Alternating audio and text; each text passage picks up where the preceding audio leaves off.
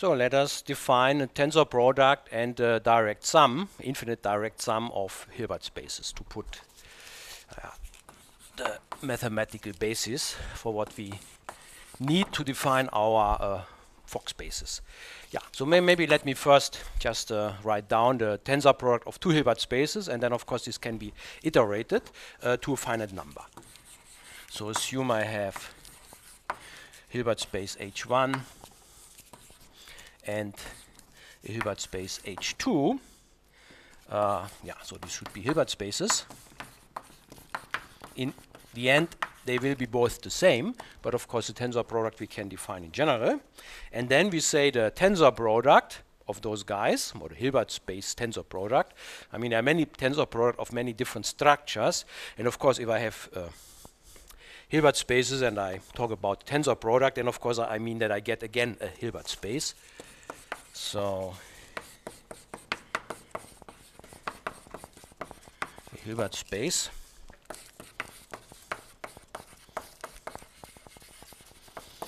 Tensor product, uh, which we denote by H1 tensor H2. So what is this? Yeah, so this is actually, this is given by elements of the form that I'm taking something from here, tensor something from here. Then I should take, of course, linear combinations. And then if my Hilbert spaces are infinite dimensional, I should also complete this, because in principle I also need infinite sums.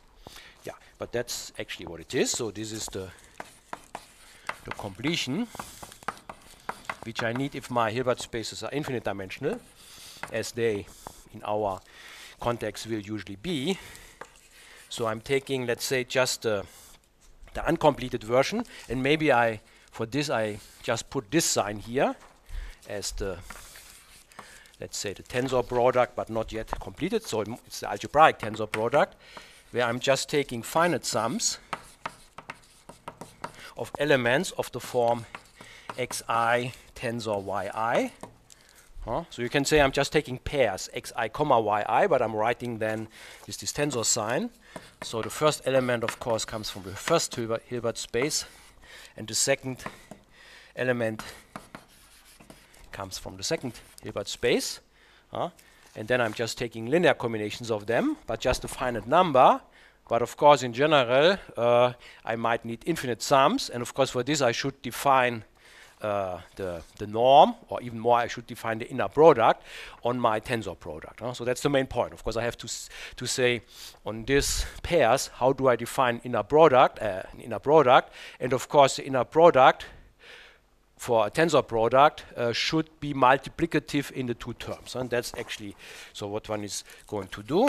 So namely, I take this guy here, and I put an inner product on this, and this inner product, of course, then gives me a norm, and then I can take the completion uh, infinite sums with respect to this norm. Uh, so with respect to the inner product, uh, which is given, and essentially I only have to define the inner product between two guys of this form, because then everything else is clear by linear extension. so this is given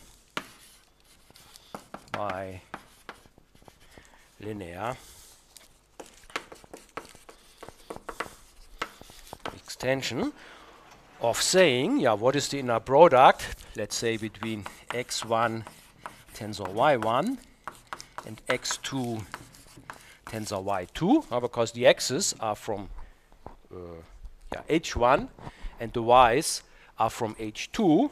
Uh, and then, so what, yeah, if I putting a product here, then it should be clear. I mean, I can only I, I, know the inner product between the x's and I know the one between the y's. So what this here should be, of course, is the inner product between the x's, the inner product in H1, times the inner product between the y's, uh, of course, the inner product in Y2. Uh, so I'm pairing this with this times this with this. Yeah, good. So that's yeah, the only meaningful definition. That's the uh, tensor product of Hilbert spaces. And of course, um, if h1 and h2 are the same, and here it's still an h1, but let's say they are both equal to one Hilbert space h, then I can also write this in a power form as h uh, to the power 2 uh, in a tensor product sense. And of course, one can also iterate this. But let me first say it. So we write also, so if h and h2 are the same, equal to h, then I also write this as h to the power 2, but in the tensor sense. Yeah, and of course, if I know the tensor product of two terms, I can define it for any finite number of, of, of factors by iteration, or one can also write it down directly. You know? So I'm just taking uh, here products, and of course here, if I have here n factors and I have here n factors, then of course I'm just taking the product where I pair the first factor here with the first factor here, the second with the second here, the third with the third, and so on. So this is just iterating this. So by iteration, this definition extends uh,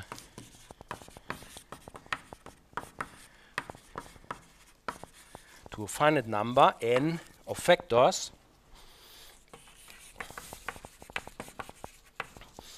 yeah and then so then we have the tensor product of n Hilbert spaces, h1 up to hn, which I write like this.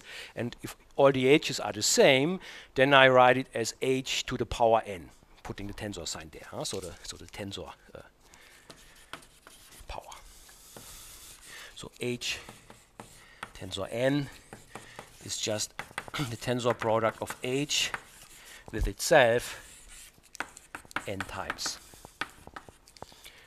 Good, so that's the tensor product, and that's, that's what I need in my construction. I need a tensor product of the one particle space uh, for any number of particles, so for any n. But I only need it for finite n. So here, there, here I, I won't have an, an infinite uh, tensor product. I will say a few words about this. Uh, but but what I want, what, what, I need is now that I take linear combinations of the tensor powers of n, where n is varying. Uh, but then I'm taking a, a, direct sum of those guys. So and that's the second part now. Uh, so this here was the definition of the tensor product, uh, a finite uh, tensor product for a finite number of, of terms. But now I'm talking about the, the, the direct sum, which in principle we know for finite number of Hilbert spaces, but this is really we, we need for an infinite number, because we need it over all n, and n can run from 0 to infinity. So let me also do it in general. So assume I have Hilbert spaces, hi, by an infinite number, so they are indexed by the natural numbers, so they should be Hilbert spaces. And then what I want is their direct sum. So the direct sum of them, of the HI.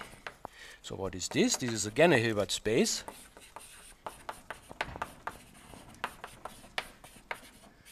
And which I denied. I mean, I mean, I it, it's a sum, but it's also a direct sum.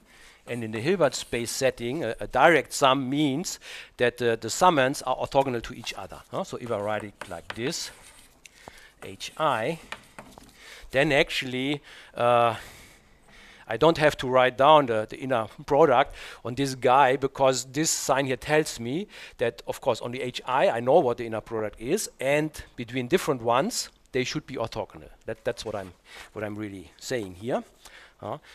And so, and then of course again elements here. okay, I mean I can write them as tuples, but now it's it's uh, infinite tuples, so x1, x2, and so on, where the x's are coming from those space here. Uh, so the xi's are coming from hi. And I might also write this here as uh, x1 plus x2 plus x3 and so on. But now it's doing an infinite sum. And of course, I must, I must uh, guarantee that the inner product uh, converges. Huh? So I mean, I, I, can of course take here an infinite, uh, finite sum. Then of course everything is finite. and I have no problems. But if I take an infinite sum, then I must guarantee that I only consider elements for which inner products are finite. And for this, of course, uh, I need that the sum over the norms of the xi squared i in n is less than infinity. Huh? Yeah, because this is exactly the norm which you get from asking that the inner product between this guy and let's say itself is given by taking uh, yeah, the sum of the inner products bet between x1 and x1, x2 and x2, and so on. Uh, because uh, you don't get cross terms here in this direct sum because we, we require that x1 is orthogonal to x2, x2 is orthogonal to x, x3. Uh, that's what we are meaning here. Um, so, but maybe let me write this down so that the inner product in this direct sum that this is determined so is determined essentially by the notation that I'm using this this direct sum uh, symbol is determined and this means that I require by the requirement that, uh, of course, the hi, which can be identified with a subspace of this direct sum, that this is orthogonal to the hj if i is different from j. Uh, so that hi is orthogonal, uh, not, not different, but orthogonal to hj for i different from j, where, maybe let me say it again, where of course I identify uh, the summand hi with uh, a sub Hilbert space of this direct sum. So where we identify an x which is in hi, of course with uh, this sequence uh, where I only have this element x sitting at the position i, so I have here 0, 0, and so on, 0, and here I have the x, and then 0, and so on. Uh, and this here is the ith uh, position.